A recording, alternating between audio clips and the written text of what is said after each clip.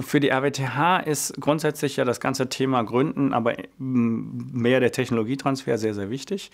Und ähm, wir fassen das Thema Gründen jetzt auf der RWTH-Ebene eigentlich mit vier Säulen an und sagen, das muss in der Strategie der RWTH verankert sein. Dann wollen wir noch breiter in die Fakultäten hineingehen. Wir wollen dann noch eine stärkere Verzahnung des Technologietransfers und des Gründerzentrums erreichen und das Netzwerk, was um die RWTH herum ist, auch noch fördern, damit die unseren Gründern Beiträge liefern. Wir sind ähm, Teil der sogenannten Gründerregion und in der Gründerregion sitzen eigentlich die maßgeblichen Akteure quasi der Stadt und der Region zusammen. Und der Oberbürgermeister kommt regelmäßig zu den Treffen der Gründerregion. Die HK ist dort, die Banken sind dort und wir besprechen eigentlich gemeinsam, wie wir das Gründen weiter hier fördern können, wie wir die Unternehmen aber auch wenn sie gegründet sind, danach noch fördern können, damit sie überleben. Aufgaben des Gründerzentrums sind, Gründer zu mobilisieren, sie zu trainieren und sie zu coachen. Also zu gucken, ob es hier unter den vielen Ingenieuren, Naturwissenschaftlern Leute gibt, die gründen wollen, die vielleicht auch was Spannendes haben an Technologie, die dann so ein bisschen ranzuführen, indem man ihnen erstmal so ein allgemeines Training gibt. Und wenn das dann wirklich konkret wird, muss man ja individuell coachen. Und daraus sollen idealerweise Unternehmen hervorgehen.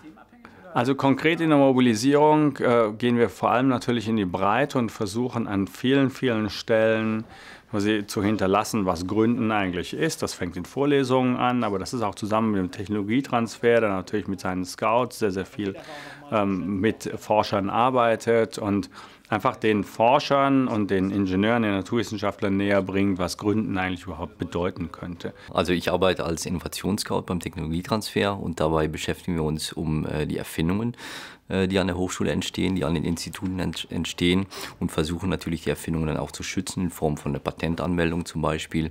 Und auch ein Teil von den Aufgaben ist es natürlich, die Patente, die Patentanmeldungen nachher zu verwerten. Eine mögliche Form der Verwertung ist natürlich dann auch eine Ausgründung, dass halt die Patente, das Schutzrecht sozusagen in die Ausgründung hineinwandelt. Teilweise kommen die Leute direkt auf uns zu, äh, weil sie uns kennen, weil sie aus unserem Netzwerk äh, sind.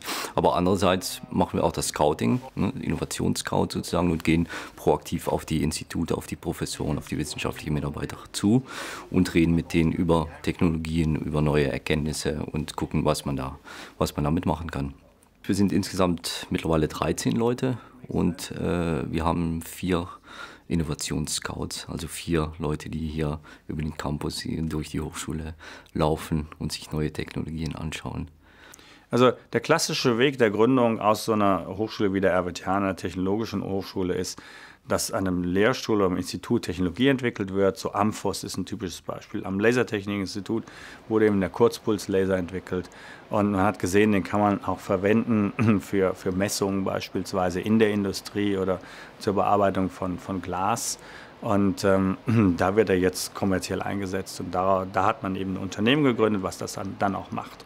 Und das Lasertechnikinstitut ist sehr, sehr aktiv da drin. Der Kollege Poprave unterstützt Gründungen sehr, sehr stark. Ist der sehr typische klassische Weg ähm, aus, aus, aus, der Hochschule heraus.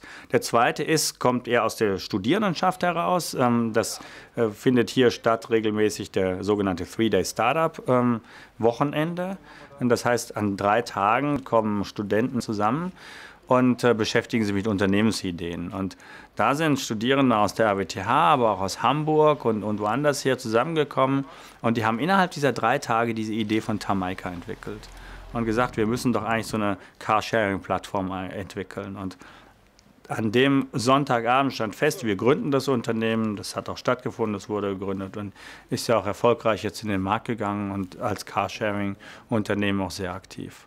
Und der dritte Weg, der ist nicht wirklich klassisch, aber das ist jetzt, was wir neu entwickelt haben, ist, ähm, dass ein großes Unternehmen auf uns zukommt und sagt, wir haben eine Technologie, wir wollen sie eigentlich nicht mehr haben, wir haben sie aussortiert, könnt ihr nicht damit, was damit anfangen?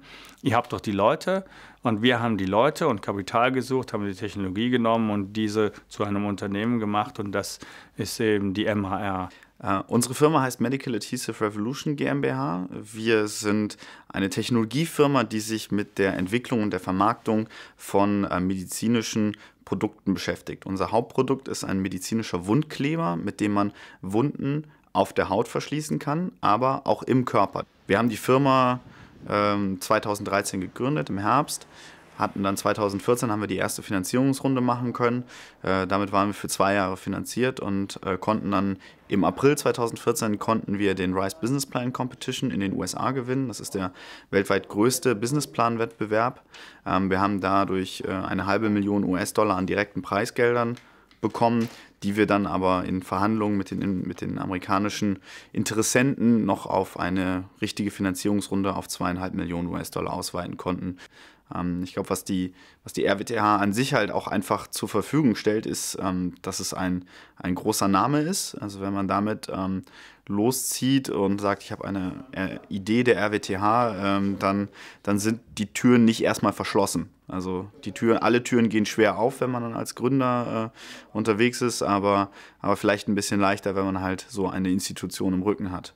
Also die Unterstützung durch die RWTH ist eigentlich fortlaufend. Ähm, auch nach der Gründung äh, sind wir den, mit den verschiedenen Institutionen dauerhaften Kontakt. Für uns ist es eigentlich eine optimale Situation, hier an diesem Technologiestandort zu sein, weil ähm, die, die, die RWTH mit ihren, mit ihren ähm, technischen Studenten eine sehr gute Basis für äh, gut ausgebildete Mitarbeiter für uns bietet an erster Stelle, aber halt auch, dass wir mit den verschiedenen ähm, Instituten der Universität halt auch äh, Projekte zusammen durchführen können.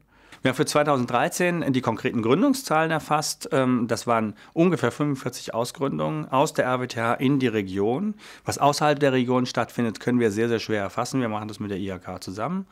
Ähm, das resultiert auf so ungefähr 200 intensiveren Coachings und äh, insgesamt haben wir so ungefähr 2000 Kontakte, denen wir das Gründen pro Jahr etwas näher bringen. Das heißt 2000 auf 200 auf 45, das ist so die Zahl in 2013 gewesen. Dann haben wir in der letzten IHK-Studie erfasst, dass diese ähm, diese Unternehmen, die aus der RWTH hervorgehen, im Durchschnitt etwa über die Zeit 25 Arbeitsplätze schaffen.